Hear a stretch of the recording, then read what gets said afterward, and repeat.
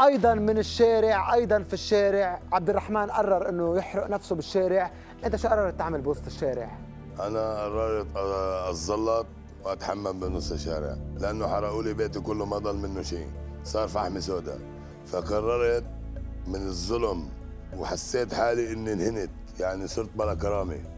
لأنه إجت من ابن شعبي من جاري من أخوي من اللي أنا وياه بنشرب من بير واحد وبنأكل من سوق الخضرة واحد.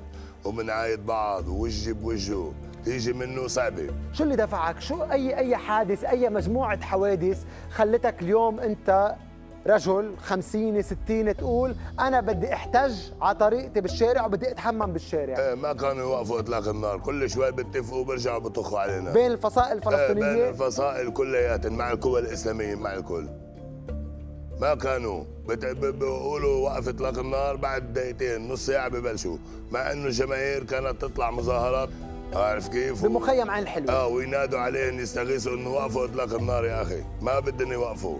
قمت أنا قررت أتحمم عشان أفرجيهن عبرة إنه إذا ضليتوا هيك مش بس أنا اللي بدي أتحمم بالشارع كل عين الحلوة بدها تتحمم بالشوارع كل شوارع صيدا وعشرة البحر وكل النسوان بدها تقضي حاجتها بالشارع وينفضي عرضين من إيدن. فقررت إنه أفرجيهن قررت إنه أفرجيهن رؤيه تعبير إنه إذا هيك ضليتكم مستمرين على هذا الحال بالاقتتال وظلم الناس وحرق البيوت وحرق السيارات. قررت إني أحتج بهذا بهذا الشيء وأفرجيهن إنه هذا مصير كل الشعب اللي بعين الحلوة. وين بدها المرأة تقضي حاجتها أو البنت الصبية. ليه بالشارع؟ وين الشاب بده يتحمم؟ بالشارع. لأنه الشارع أكبر تعبير لكل الناس الشارع للفقير للآدمي للازعار للسكرجي للتاع المخدرات. الشارع بيحوي كل شيء وبيعلمك أكثر من الجامعة وأكثر من البيت. لأنه الشارع لكل الناس لكل الفئات للآدمي وللازعر وكيف بحدد الشارع مصير بلد؟ الشارع إذا في ناس عندها نخوة وعندها إحساس وعندها قلوب قلوب مش لحم مش قلوب حجار بتحركوا بثوروا لكرامتهن الإنسان بس توصل عند كرامته خط أحمر عريض. الكرامه فوق كل شيء. لا بدي آكل ولا بدي أشرب ولا بدي سع بدي كرامتي. تحية لكلامه لمحمود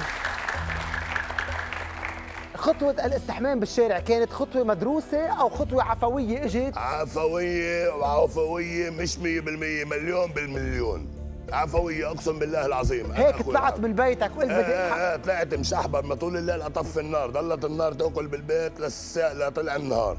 طلعت من البيت لقيت في مواسير بالشارع عم بتنزل مي وأنا كلياتنا عرق ووسخ وكذا وقلت أفرجي كل الناس. قمت رحت جبت صابوني وقفت بالشارع شلحت أواعي وقعدت اتهم ما شفت لك إلا التليفونات الخلوه منين خلقت؟ بلشت الجماهير تصور وتبث حول العالم.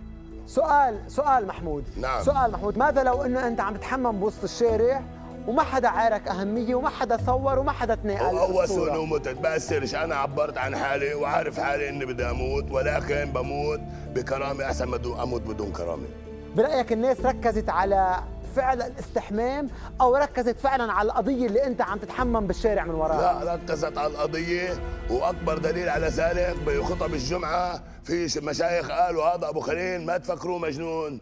هذا عم بعبركم تعبير عشان تشوفوا إنه هاي تفسير لبكرة. إذا ضليتكم هيك بدنا نتحمم بالشارع ونفضح قدام كل الناس. لأنه نحن مش عم نحارب إلا إخوتنا وأهلنا وعشان مصالح ضيقه شخصية. ردة فعل الناس هي عم بتشوفك أنت وعم تتحمم نص الشارع. شو قالوا عنك؟ آه قالوا في ناس قالوا مجنون شو بتقول لهم؟ للي قال مجنون شو بتقول له؟ يا شارع فيق فيق اصحى للمصايب اللي عم بتصير. راح يجي يوم من يوم من الأيام تدفع هذا الثمن ساعتها لا ينفع الندم. شكرا لكم. إذا عجبكم الفيديو اضغطوا like و share ولمزيد من ال videos subscribe بقناة مالك مكتبي الرسمية turn on notifications لتعرفوا كل شيء حصري بيصدر على القناة. تابعوني على كل منصات السوشيال ميديا.